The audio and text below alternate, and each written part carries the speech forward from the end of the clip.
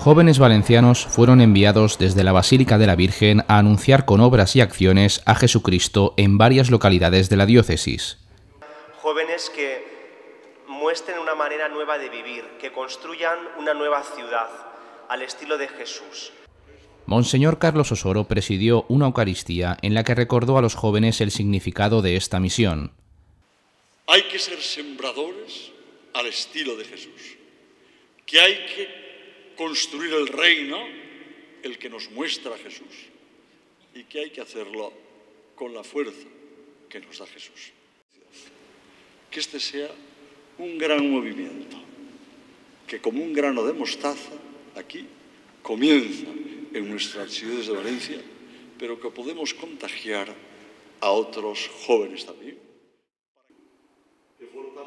Tras la celebración, los participantes se trasladaron con sus mochilas a las localidades de la misión, Aldaya, Paterna, Gandía y Alcira.